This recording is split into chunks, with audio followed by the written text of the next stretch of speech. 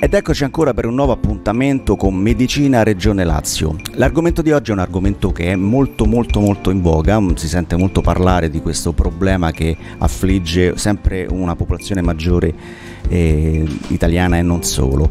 Ce ne parla oggi un medico ginecologo, il dottor Carmelo Parisi. Benvenuto dottore. Salve. Grazie per aver accettato il nostro invito. Grazie a voi per avermi ospitato. È un piacere. Allora, mm, innanzitutto la, prima, la, prima, informazione che vorremmo tutti avere, che cos'è esattamente questo papilloma virus? L'infezione da HPV rappresenta la più frequente infezione sessualmente trasmessa. Si conoscono circa 120 tipi di HPV, di cui 40 sono patogeni per l'uomo.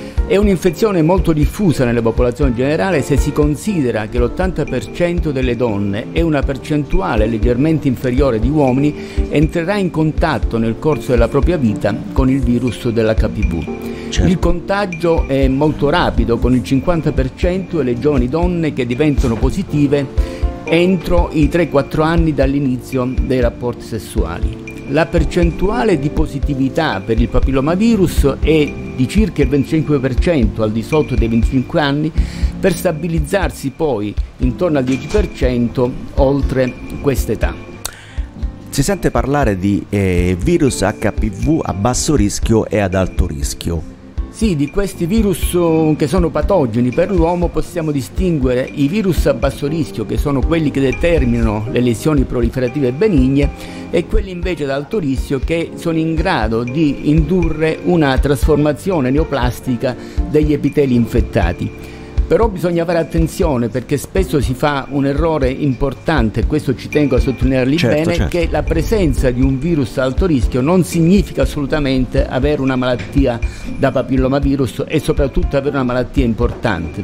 Certo, Nel, um, nei tumori del, del, collo dell'utero eh, qual è il, il ruolo dell'HPV?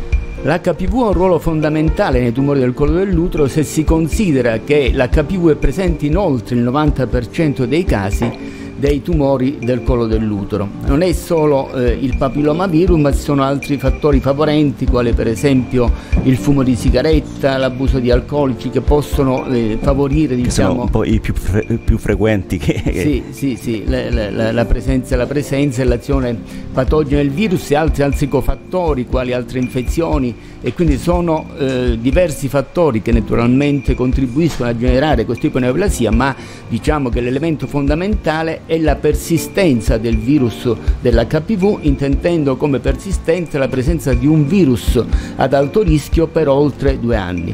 Diciamo che la persistenza di un virus ad alto rischio pone la donna ad un rischio 300 volte superiore di ammalare di tumore del collo dell'utero, per cui possiamo dire che la vera categoria a rischio di donne che possono ammalare i tumori del collo dell'utero sono donne che hanno un'età superiore ai 30-35 anni e che sono portatrici croniche dell'HPV. Ho capito, chiarissimo. E, ehm, a questo punto come si contrae l'infezione da HPV? Ma ehm, l'infezione da HPV si contrae essenzialmente con i rapporti sessuali, quindi contatto cute-cute, cute-mucose il profilattico ha un'azione protettiva ma non assoluta nel senso che ci rimangono durante i rapporti sessuali delle aree scoperte in cui può essere presente il virus.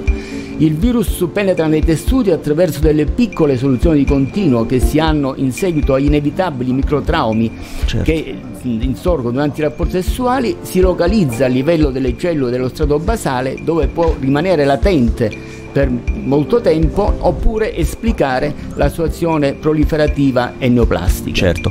E quindi c'è un periodo di incubazione e questo periodo di quanto può essere? Ma il periodo di incubazione non è facile da definire perché il periodo di latenza del virus stesso può essere molto variabile. Diciamo che normalmente il periodo di incubazione varia da 1 a 8 mesi. Vi è poi un periodo di latenza fra l'infezione e l'insorgenza di lesioni preneoplastiche che è di circa 5 anni, mentre il periodo di, eh, che deve di intervallo fra una lesione preneoplastica e una neoplasia vera e propria è di circa un decennio. Quindi questo periodo di evoluzione molto lungo ci consente in realtà di intercettare le malattie in fase neo- preneoplastica prima che diventino delle neoplasie vere e proprie. Certo. Dottore, abbiamo parlato che questa è una malattia che riguarda principalmente la donna, ma non solo, quindi è una malattia anche di coppia, si può definire così? Beh, essendo una malattia sessualmente trasmessa è inevitabile che sia una malattia, una malattia di coppia.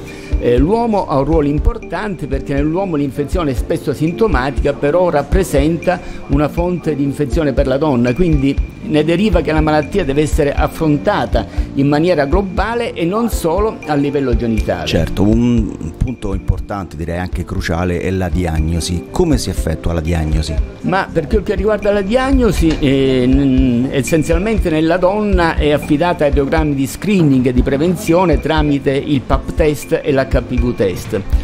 Quando vi è un'anomalia citologica bisogna ricorrere ad un esame di secondo livello che è la colposcopia che si avvale di uno strumento appunto il colposcopio che ha un sistema di ingrandimento che ci consente di identificare le lesioni HPV correlate e di fare delle biopsie mirate. Certo. Con la biopsia si asporta un campione di tessuto su cui è possibile poi effettuare l'esame istopatologico che è il gold standard per la diagnosi di questo tipo di lesioni. Chiarissimo. Nei casi selezionati si può fare invece un esame molto sofisticato che è la microcolposcopia. La microcolposcopia ci consente di superare i limiti della colposcopia, ci consente addirittura di studiare in vivo le cellule degli epiteli che rivestono il collo dell'utero, utilizzando dei coloranti vitali. Ciò ci consente di studiare sia il canale cervicale che è inaccessibile alla colposcopia e sia di fare una diagnosi precisa della sede della lesione e questo è molto importante quando noi andremo a fare dopo il trattamento escissionale perché ci consente di essere molto precisi, quindi radicali nell'asportazione della lesione, ma anche conservativi risparmiando il tessuto sano. Certo, e questo è, è, molto importante, è importante quando noi soprattutto andiamo a trattare donne giovani che non hanno completato il loro programma riproduttivo in cui il collo dell'utero svolgerà invece un ruolo fondamentale per la successiva gravidanza. Certo. E invece per l'uomo? Per l'uomo non esistono dei test di screening, diciamo che la diagnosi è affidata alla peniscopia, che è un esame che consiste nell'osservare assolutamente non invasivo, certo. nell'osservare i genitali esterni mediante il colposcopio applicando una soluzione di acido acetico. Questo esame ci consente di individuare delle lesioni che non sono individuabili ad occhio nudo. Certo e quindi delle lesioni in fase molto precoce. L'altro test è l'HPV test, che ci consente invece di individuare la presenza del DNA virale ma è un test che nell'uomo è ancora poco validato e presenta ancora degli aspetti che vanno, ehm, vanno chiariti, vanno meglio definiti. Certo, come in tutti gli ambiti della medicina la prevenzione è fondamentale, in questo caso come si attua la prevenzione? Sì, la prevenzione è fondamentale e in questo campo, eh, naturalmente come negli altri campi, ma in questo campo è anche possibile fare prevenzione. Innanzitutto bisogna affidarsi ai programmi di screening, quali PAP test e HPV test per la donna. Bisogna conoscere quali sono i fattori di rischio, per esempio la promiscuità sessuale, certo. il sesso non protetto, ma anche l'uso di fumo di sigarette e l'abuso di alcolici possono favorire l'azione virale. Abbiamo dopo oggi uno straordinario strumento di prevenzione che è il vaccino. Certo. Il vaccino attuale che è gratuito, ricordiamo. Il vaccino è gratuito in alcune fasce, adesso parleremo. Sì. Il vaccino si dispone eh, si compone di nove ceppi, sette ad alto rischio e due a basso rischio.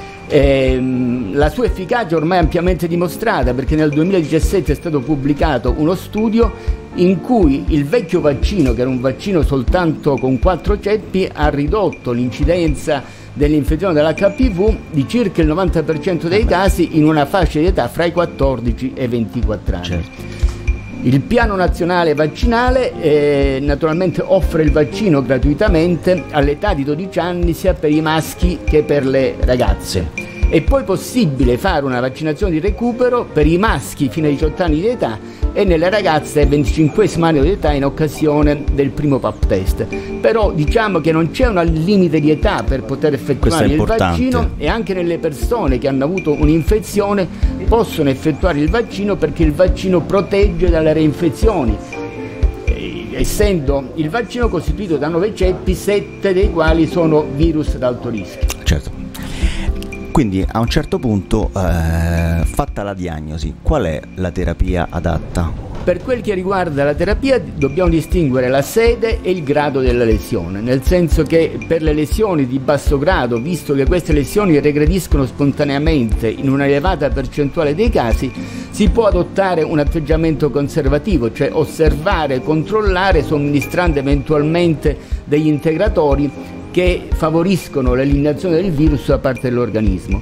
Quando invece l'infezione persiste per oltre due anni oppure si localizza per esempio all'interno del canale cervicale, allora è più indicato un trattamento attivo. Per le lesioni di alto grado invece è sempre necessario il trattamento escissionale. Per esempio parlando del collo dell'utero si fa riferimento alla conizzazione, sebbene ormai conizzazione è un termine obsoleto, e si parla più frequentemente di escissione. L'escissione ci consente di esportare il tessuto sede della malattia e avere così un esame istologico completo e definitivo. Bene, è stato chiarissimo. Dottore, io sarei ore a parlare con lei perché l'argomento, oltre che essere molto interessante, è anche affascinante e utile per i nostri ascoltatori. Però siamo arrivati alla fine. Ricordiamo che potete contattare il dottor Carmelo Parisi all'indirizzo email carmeloparisi56-gmail.com e io la ringrazio tanto per grazie essere stata con lei. Grazie alla, a lei. al prossimo appuntamento. Grazie a lei. Grazie.